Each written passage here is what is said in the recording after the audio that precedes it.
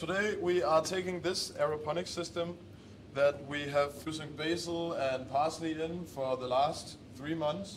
We are taking this system apart and then we are putting it out in a shipping container. So I'm going to show you the plans, what we're going to do in the shipping container and how we're going to make like a mecca of different testing grounds for salads, herbs and uh, salad heads as well. So cutted salads and cutted herbs and also the herbs that we are growing with the aeroponics here for the restaurants. We are gonna take this system apart and then we're gonna put it out to the container. So I'm gonna give you a little tour around what's gonna happen because this system here has been in process for three months. We've been learning how to operate it and now we maxed out the room so much that we need the space for another pallet system and grow microgreens on it. So that's why we invested in a shipping container that we can move everything out to and hopefully create a closed environment where everything can be grown in there. So I'm going to show you the other systems we're going to put in. This system essentially is a smaller system of the aeroponic system you just saw. In here we have some test of some lemon basil it's like a really fast growing basil species. We grew this in five weeks from seed until this size now. This uh, lemon basil, it's like a normal basil, but it has like this lemon kind of flavor and it's really unique. It smells almost like a mojito. It's uh, really, really lovely and but the, the less good thing about it is that it doesn't keep good on fridge. So you can't store it that good. It has to be fresh when you deliver it. Otherwise, it's going to be black and that's not going to be very nice. This is the Danish trolley that we also produced and make here in Denmark. We fitted it with LED lights and we figured what LED lights is the most efficient to use in a system like this and we are using the Parus Europe LED as you know from other videos. Right now we are doing all the propagation of the uh, herb system over there with the aeroponics. We're doing it under here and we have some new tests. We're testing some different salad types to make salad heads from and we're doing some sorrel we're doing some kale, and then we're gonna do some pak choi as well. So these salads is gonna be fitted in the test system as well.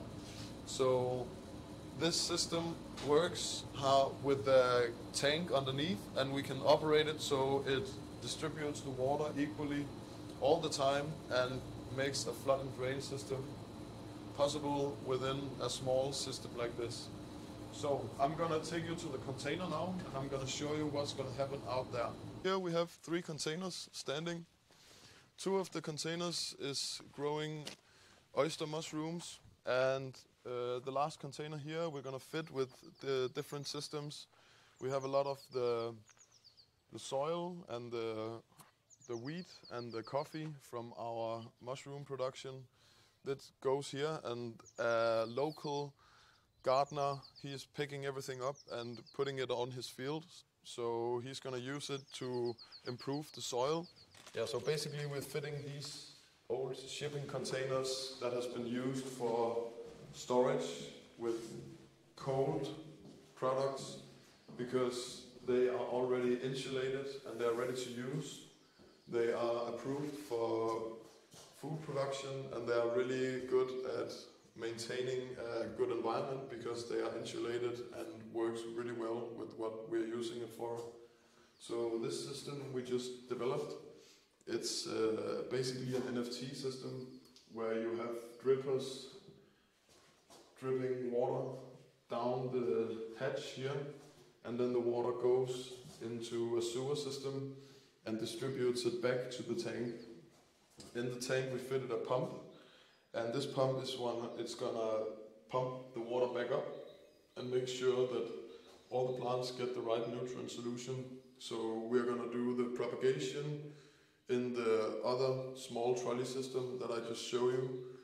And then we're gonna fit salads here. We fitted the trays, the shelves, with different size holes and with different between every hole so we can measure what goes well and then when we figured what works and what doesn't work then we're gonna change these to fit the right type of salad because we want to in the end grow salad heads in the system.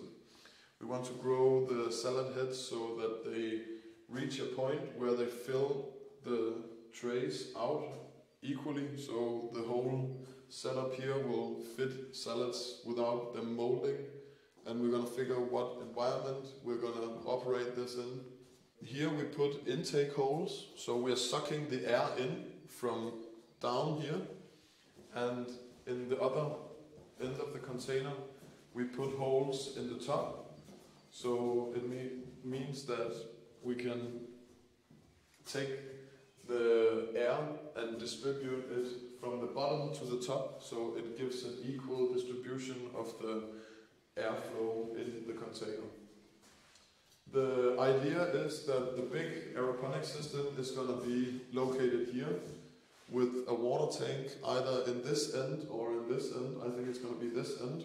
And then the trolley system is going to be here.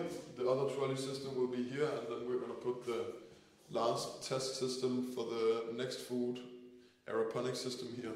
So basically this is going to be like a mecca of testing grounds for herbs, salads, basically.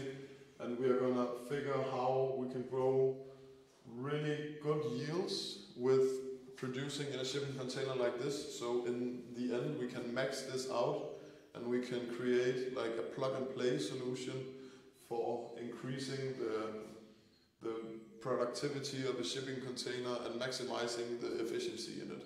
And this whole journey, like the oyster journey, we're gonna take you on with videos of all the steps so you can learn with us and you can see everything that we're doing and hopefully it's going to provide you with some knowledge about how you also can start up a profitable business growing salads and herbs.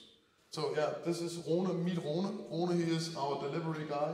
He is an awesome person and we love him. He's really good with the customers and he wants to say thank you for watching the videos and remember to subscribe to our channel. cool, yeah, so see you next time.